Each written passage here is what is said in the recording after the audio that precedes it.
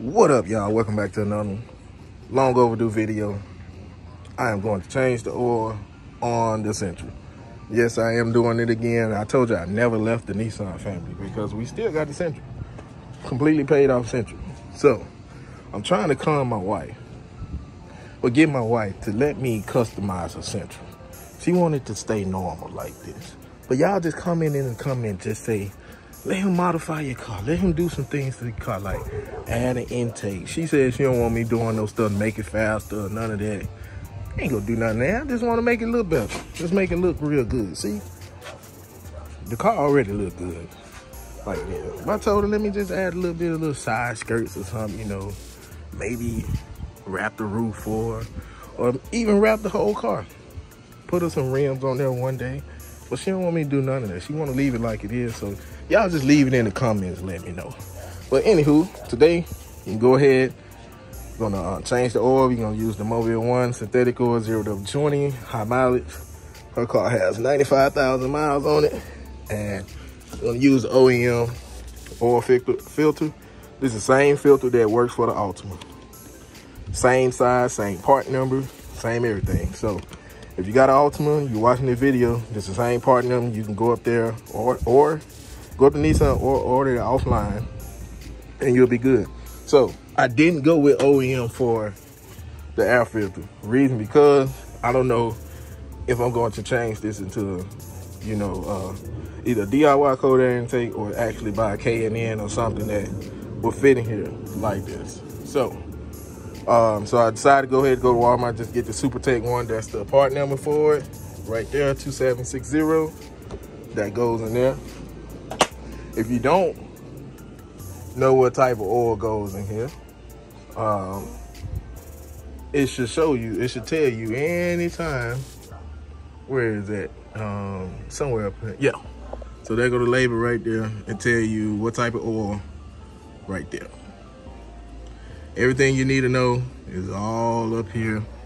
And you got everything you need to know about your refrigerant. All of that. And.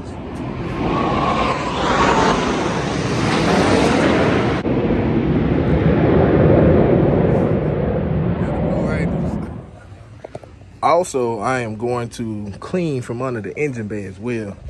And um, what I'm going to do use is a Fabuloso mix. So it's gonna be a Fabuloso and water mix. So under here it's gonna look real fabulous when I'm done. So let's get it, get it in. Yay, yay. All right, if you ever up on your Sentra or whatever, um, so on your passenger side, it's super easy to get to it on the Sentra. On your passenger side, you got your oil filter here. You may have a covering over here so you'll remove some clips. Unfortunately, my wife's car doesn't. I might need to order one to cover all this up, but I mean, it's pretty much over with for that. That's that's long done. As you can see, somebody a long time ago zip tied this in and just said, hey, forget it. So, I mean, it's a lot of stuff I'm having to come under here and, and correct. I might order the cover or whatever. Just take your clips off. You have a clip here, probably one back there on all the sides. So, but um, yeah. So your oil filters here and your oil pan is right here. Um, so you're gonna need pretty much a 14 millimeter bolt. I mean, wrench or whatever to uh, get that taken care of. So I'm gonna go ahead and get that done. What the heck? I just got attacked by a little baby caterpillar. So let me go ahead and get this done before I get attacked again. But um, yeah, that's pretty much it for up on the hill. I'm gonna uh, try to set this camera up for a time lapse from a different angle.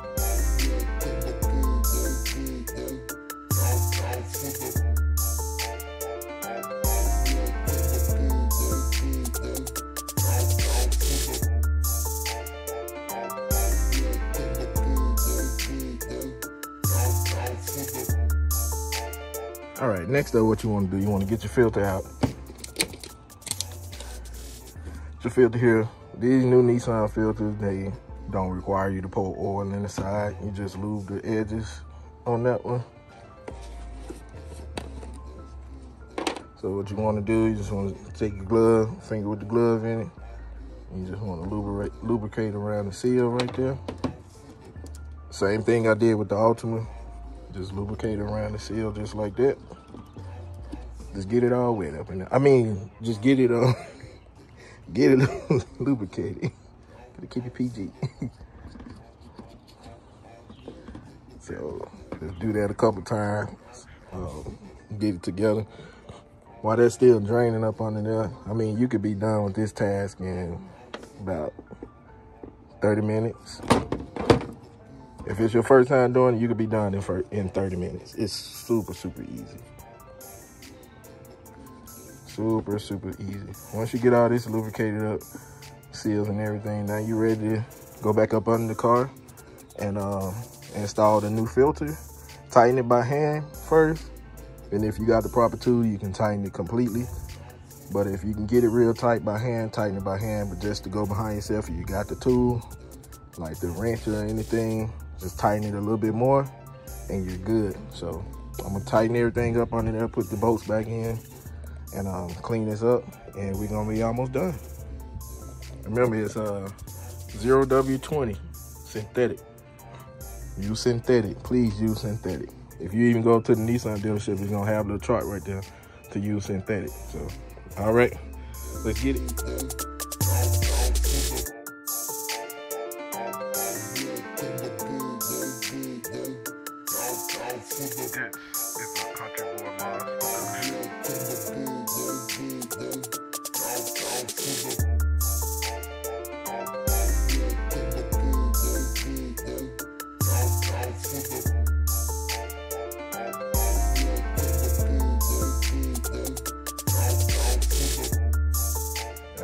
Up, all you wanna do, now you got everything tightened up on the bottom.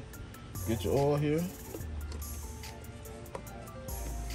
Get your oil, just give it a good little swish around. You hear that? Give it a good little swish around inside. Stir up all the contents that's in there that need to be done. Even though they ain't got nothing to do with it. But once you get that done, you wanna turn it sideways and you wanna start pouring it in just like that. You can pour slowly. This um, five quarts is all you need. And make sure you have a funnel too. You can get all this stuff for cheap, man. You get this funnel for like a dollar from Walmart. So you ain't gotta worry about that. Just start pouring everything in slowly. Like I'll be changing the oil most of the time on the Sentra and the Durango. I do need to go get some more tools. Trying to invest in getting one of them jack stands, the the um three ton jack stand. I mean not jack stand, but jack floor jacks. I get one of those and get me some jack stands also. Um, I should be good. Like you just get everything here and pour it in should be good. Now before we start it up, like I said, we're gonna make sure we got everything buttoned up up top. I'm gonna change the filter as well real quick. And let that sit right there for a minute. Get it all out the uh, cone there. And the container I got from Walmart that has the oil in the bottom, you can get that for about $10 from Walmart. All this from $10. I mean, all this actually from Walmart. So this, this was actually on sale for like, what, 23 So that's a better deal instead of buying each individual ones unless they ain't got it. So, so yeah. So uh, next up, we're gonna move y'all around, point y'all down, bars. And we're gonna get ready to uh, change out this air filter here. So change out the air filter, it's a small little area. So you're gonna do your clamps right there. And my piece right here broke, so that might be another reason why that mass airflow sensor code keep getting thrown. So look down a little bit more side of the battery right here. You got this piece, and you got this. It'll lift up out of there. That piece right there picks up out of there, and you can take it out. Take that whole assembly out right there. Then next thing you know, since you got that out, this is why I want to upgrade her stuff, because it's, it's long overdue. She might as well go and let me get it, right? Let me go ahead and put, put some touch to it. I'm gonna do whatever she want. Whatever she want to, I'm gonna do it. To be done, I'm gonna do it. So like, y'all just comment in the comments below. Try to help you boy out. It ain't been a while since I took this out.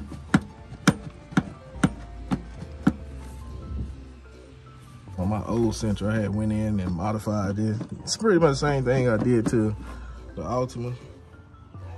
I had a Sentra before she got this one, but I had traded that Sentra in for the road when we first had our son. That was back in like 2017. But yeah, man, that Sentra clean. If I can find a picture, I think I got it on my Instagram somewhere. I'll find a picture of it and put it in here. But yeah, man, I had rims on it.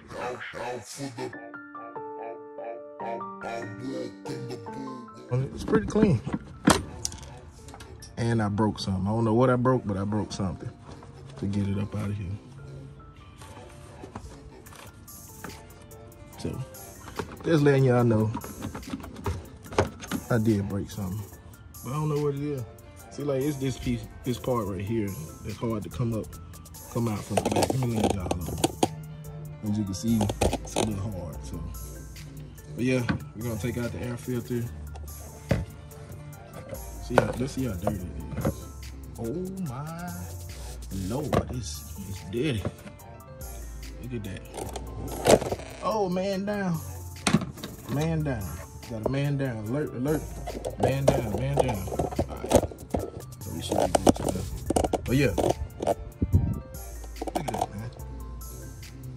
So, let's get to the other one from Walmart, which is that one. See what it looks like compared to that one. Know they all pretty much the same. Now, I said it was the right part number. I did. It's cheap, don't get me wrong. It's the backside of it. Said it was the right part number for it, so looks a little small around the breathing there, and then we flip it around. Everything pretty much in there. I don't know what this is. Piece of black gunk. I don't know what that is. But yeah, we're gonna go ahead, slap this one in there real quick. Flap it out, spread it out real good. And um, put it in here. So you put it in, same way it came out. You want this side facing down. You want this side facing down inside your uh, air box. Oh, it's actually a perfect fit. So you see that? Boom. Okay, Super Tech. I see you. And you want to make sure, man down again. You want to make sure you got the light right there. All right, so got the air filter, let it be changed. Like I said, you know you got on the right side, you got the indentation right there. Slide it on in. See if you can get it in there. It's easier putting it back in than getting out. It's pain in the butt trying to get out. Now we got that. Gonna clip this on back in there real quick. We got everything in spot. In this spot, original spot, boom, boom. All right. If that code keep throwing on that mass airflow sensor, uh, I'm just gonna buy an OEM one. So go to Nissan and just get an OEM one. Hopefully they'll do. Or order order out mine. It's gonna be a little more pricey, but sometimes you just gotta do that. Put that piece back in there. I need to tape it down with something, man. I might end up doing that after I clean from under here. But um, yeah, that's pretty much it with that part. Now next up, we are going to put our cap back on and start this car up. Put our old filter back in this box so we throw it away. You ain't sending it off to nobody, so you don't need it. All right, next thing, we're gonna uh, put our piece in there. Righty tighty, lefty loosey. That's all I can tell you. Make sure that's good and tight. Strap that piece on now. The next thing we're gonna do when she hit 100,000 miles, we're gonna come in here, gonna change the coils and we're gonna change the spark plugs on it. Get this engine back 100%. And we also gonna do our own CVT transmission uh, fluid, like it's called a spilling field. So let's go ahead and start her up and check for leaks underneath.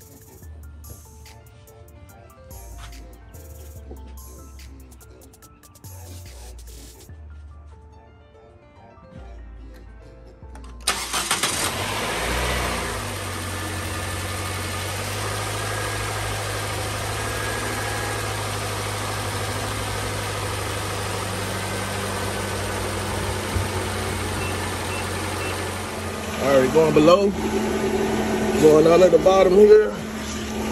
We're gonna check for any leaks. See if you got any leaks coming on through, fly. No leaks. No leaks. Y'all excuse me, I had scratched up the the uh, engine, the little filter there, the old filter there.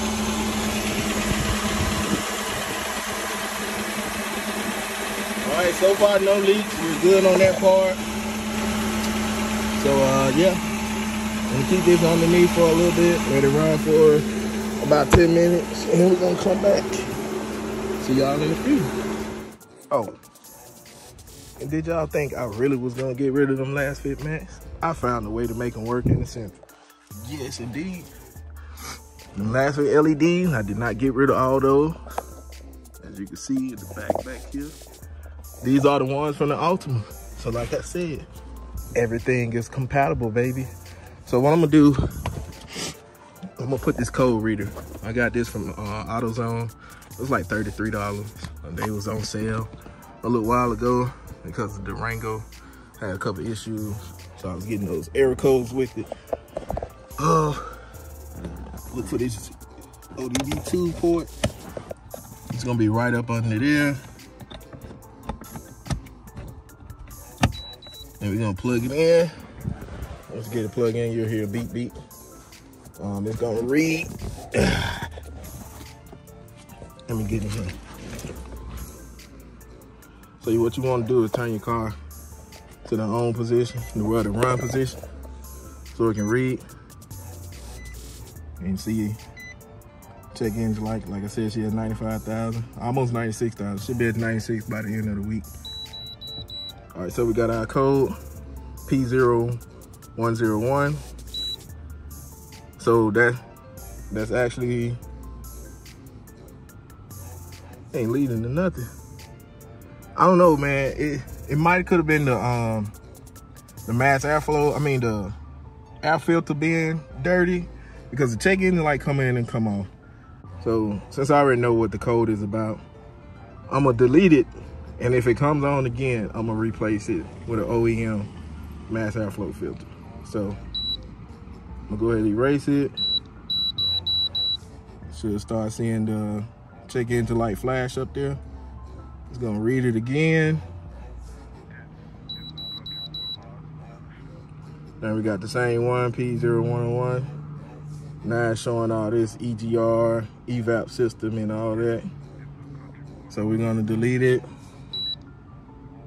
erase it, start the car up, and you should see that check engine light go away.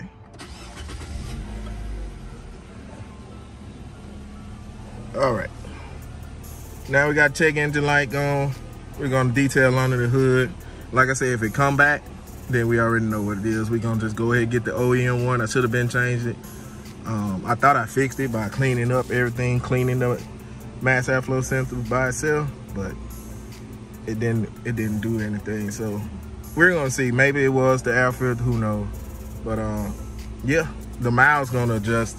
You know, the car was sitting up, so it's gonna readjust itself. And um, but yeah, let's get back on the let's get under the hood and detail and then we're gonna wrap up this video.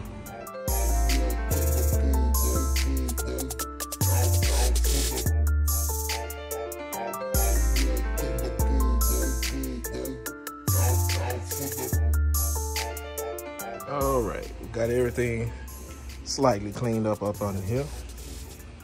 As you can see, yeah, looks a lot better than before. Oil is changed and everything. So I hope y'all enjoy this video. We got a lot more stuff to do, a lot more coming with this car. Like I said, if y'all can get her to uh, say I could do it, I'm gonna do it. Especially like she definitely needs new headlights, new headlight house. And I found some on Amazon that'll go with these, these Lasfit lights I got in here. So yeah, but man, it's hot than a mug. I'm about to call it a day. I hope y'all enjoyed the video. I'll see y'all on the next one. Peace out.